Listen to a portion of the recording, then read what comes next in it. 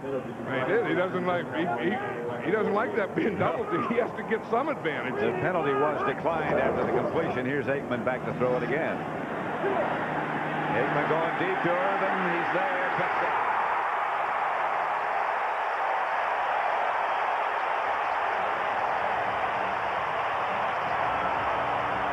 Aikman could hardly get down there to congratulate him. Great pass protection again. That time they get Daryl Johnston in to help block Reggie White.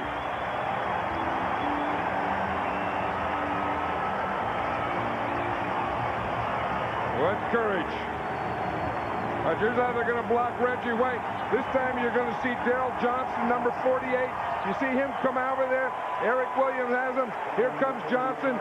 If you're going to throw yeah. deep, he knows he needed a little extra time.